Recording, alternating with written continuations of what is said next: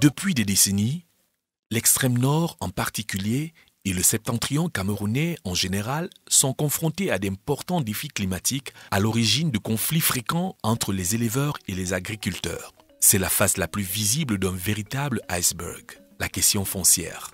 En 2011, le gouvernement camerounais s'est engagé dans un processus de mise à jour des lois relatives aux terres, aux forêts, aux mines et à l'environnement.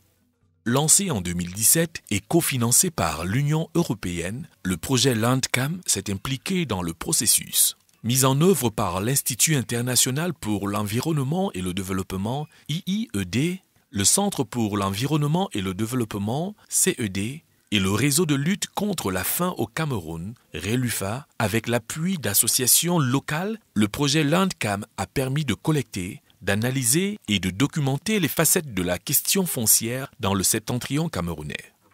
L'Adamawa, le nord et l'extrême nord, trois régions aux particularités humaines et géographiques, trois destins croisés par le facteur climatique. Les données actuelles euh, disent que euh, les trois régions septentrionales du Cameroun ont un niveau de dégradation des terres estimé à près de 8 millions d'hectares. Ça signifie que c'est vraiment très, très important.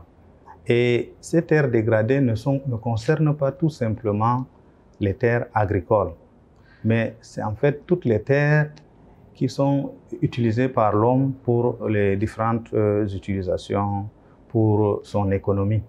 Par exemple, dans l'Adamawa, qui est, est réputée être une région d'élevage, on s'est rendu compte que même les pâturages sont dégradés.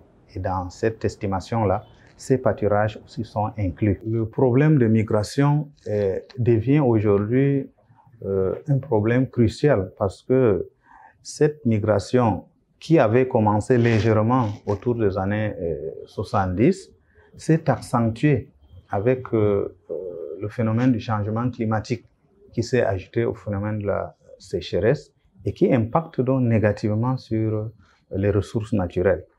Dans le cadre de la réforme foncière débutée en 2011, les organisations de la société civile impliquées dans le projet Landcam ont publié une note de politique foncière déclinée en huit propositions phares. Elles devraient, si elles sont adoptées, garantir des droits fonciers sécurisés à tous les acteurs, aussi bien dans le septentrion que sur toute l'étendue du territoire camerounais.